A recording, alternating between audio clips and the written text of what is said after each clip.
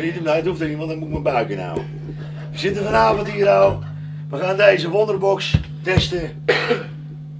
De Doom Off. Nee, de box of doom. De Box of Doom. Het is uitermate geschikt om te gebruiken als je dus thuisopnames maakt om dan toch een beetje het live geluid te brengen zonder dat je ruzie met de buren krijgt. Zoals we het op dit moment hebben aangesloten is gewoon, eh, het gaat vanuit eh, de Box of Doom, gaat het even de mengpaneel in van de bestaande zanginstallatie. Daarmee willen we eigenlijk eventjes laten zien het verschil tussen eh, wat er dus werkelijk uit de box vandaan komt geluid.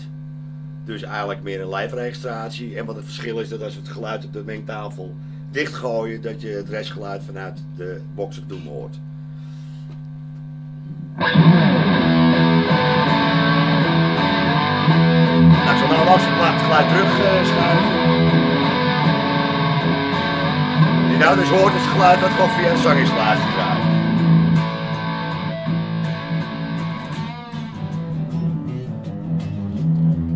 Zoals je hoort hoor je nu dus geen geluid meer. Check alleen het geluid wat zich nou in de box of Doom bevindt.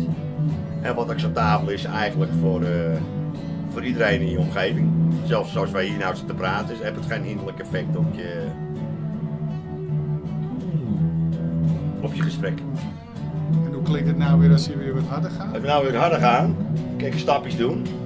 Want in principe is natuurlijk ook wel best wel geschikt voor bepaalde dingen. Als je werkelijk geen ene enkele overspraak wil hebben met een live opname. Als je dat gaat gebruiken in een live configuratie. Met een studio opname kun je zeggen van nou.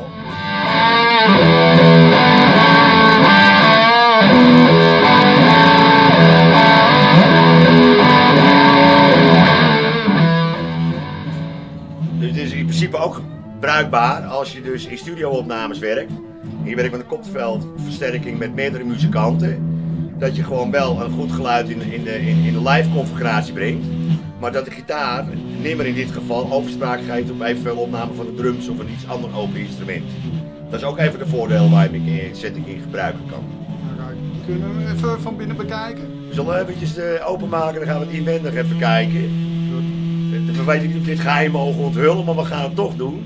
Het is een soort, ja, zal ik het noemen? Het is eh, de, de soort mummie die we gaan laten zien. We gaan over de, de sluiting. De sluiting ziet er allemaal zeer eh, professioneel en sterk uit. Er is alleen één dingetje bij te zeggen, dat de, de hendels die er al zitten, die, dat is met veren uitgerust.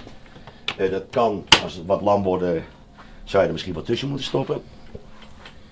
Nee, maar aan het werkt. Ja, aan de achterkant resoneert het nou nog wat mee, Ja, maar mij dat is beloofd dat dat... eh, Ja, maar vaak is dat Opgelost een nadeel is van dit soort, eh, dit soort hardware. Maar een stukje schuimrubber doet sowieso wonderen. Nou, zoals je ziet, zit hier eh, zit een slash en eh, speaker zit erin. Die is gewoon doorgeplukt met een gewoon normale jack. En we hebben twee standaard. Je kan ook de twee, je kan of, of, of X-keer werken, je kan centric eh, eh, X-keer werken. Je kan verschillende standen kiezen omdat het eh, buigbaar is. Er zit nou van de zuur gewoon een normaal zangmicrofoon in. Eh, dit zijn je ingangetjes en aan de achterkant zit de uitgang. En dit is eigenlijk de box. En je kan zelfs nog je microfoon of je speakerafstand nog variëren ten opzichte van je, van je lengte. En dit- dat zal wel gevarieerd zijn met de lengte van de golf die eruit komt, die uiteindelijk in dit gedeelte doodslaat. ja. ja, en wat ook wel mooi is, zeg maar, je kan deze zeg maar, eruit halen. En dan kan je zeg maar, nog wisselen van speaker. Dan kun je nog wisselen van verschillende speakers. eh, principe is dat eh, ja, een kwestie van eh, nou, 30 seconden werk en dan, eh, dan heb je je speaker vervangen. Ja. Dus kan je ook nog wel een dan ja, dan zou je die andere speakers zou je dan al wel moeten uitvoeren, al kant en klaar met gesoldeerde jack erop. Volgens mij is het gewoon een mono jack. Ja. Nou, dan is het eigenlijk eh piece of cake. Eh, zeg maar qua output nu eh, laten luisteren en... eh, Helemaal voluit. Nou, ja, je, je- je- jij wil altijd, eh, altijd voluit. Kom, ik, ik neem wat Ik weet niet wat jij hebt. Afstand. Daarom ben ik, daarom ben ik gitarist. Daarom hebben we je ook uitgenodigd natuurlijk. Mag ik hetzelfde stukje even spelen? Ja, want ik, ik- ja, Dus ja, dit is nou met de box open. zeg maar de geluidsoutput en dan De uh, we en hem de- straks dicht. En de tafel staat nou gewoon dicht. Kun je daar het verschil ook Ah, even kan er tussen straks horen? wat dicht gooien natuurlijk.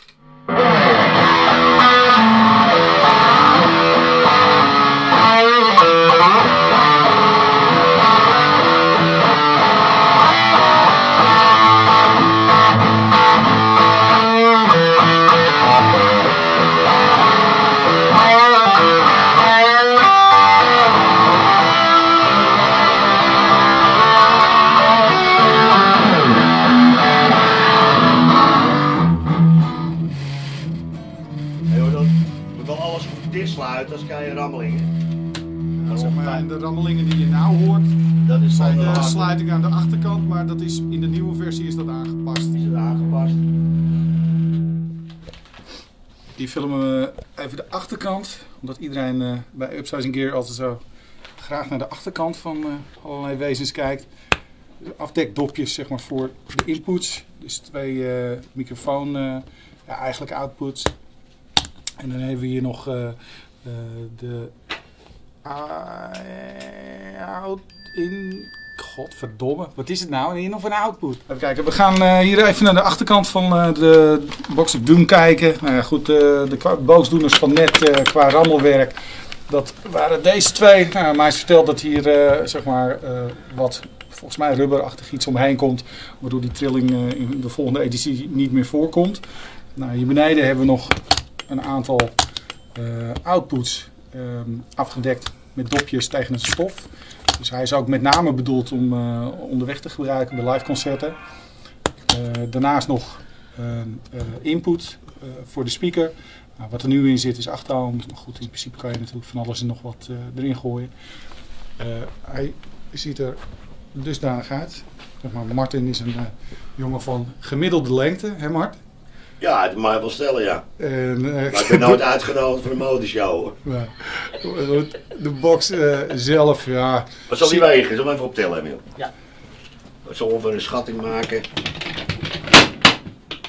Nou, dat valt erg mee. Ja, wat is een... Gokje, een, norma- een beetje een cabinetachtig eh, gewicht. ja. Ja. Maar wat wel handig is dat ze met vier handgrepen hebben gewerkt. Dus je hebt niet het gekanteld dat je je polsje kan verrekken. Dus het is, het is gewoon een eh, solide gebeuren. Solide wielen zitten eronder. Met remmetje erbij. Hup. Kun je nog eh, vastzetten. Gewoon goed over nagedacht. Dan kan je er ook nog vanaf springen. Even de box weer in. Ja, goed, wat je eigenlijk ziet is allerlei verschillende lagen. Zeg maar isolatiemateriaal. Isolatiemateriaal, dikker isolatiemateriaal. Nou, Hier ook weer diverse lagen. Laag heel eh, luchtig, foamachtig iets. Dan houtwerk, dan weer wat dikker foam. Ehm, de aansluitingen natuurlijk, microfoon ervoor. Speakertje, ik zal nog even de werking laten zien. Hoe het geheel eruit haalt. Kun jij maar uithalen, maar. Oh. Nou goed, je kan je voorstellen als je nu een ander hebt liggen dat die eh, andere er alweer in had gezeten. Nou, dan plaats je hem terug. Piece of cake. En dan gaat de jack gaat er weer in. En het is eh spelen geblazen. Nou ja, goed, ik vind eigenlijk dat je met die box doe je het wat te kort als je hem eh, alleen op je slaapkamertje gebruikt. Ik, eh, ik heb zelf toch ook wel zoiets van, nou, je moet je wel mee de studio in of eh, on the road. Ik denk dat je, je, je, je geluid net even wat meer controleerbaar is dan, eh, dan dat je het eh, zeg maar met een cabinet gebruikt.